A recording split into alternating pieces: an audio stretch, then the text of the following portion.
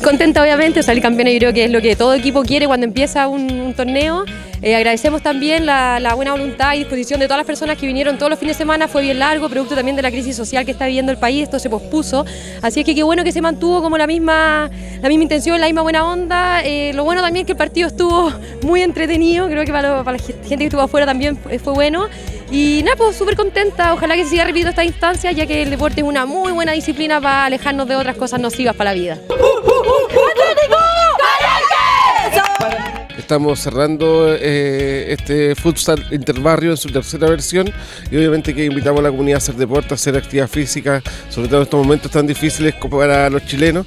Eh, es un mecanismo también de eh, poder este, aplacar un poco esta situación tan compleja. Así que felicitar a estos dos equipos que llegaron a la final y queremos también invitarlos a seguir participando de las actividades de la Corporación Municipal de Deporte y de la Municipalidad de Coyhaique que le ofrecemos a la comunidad.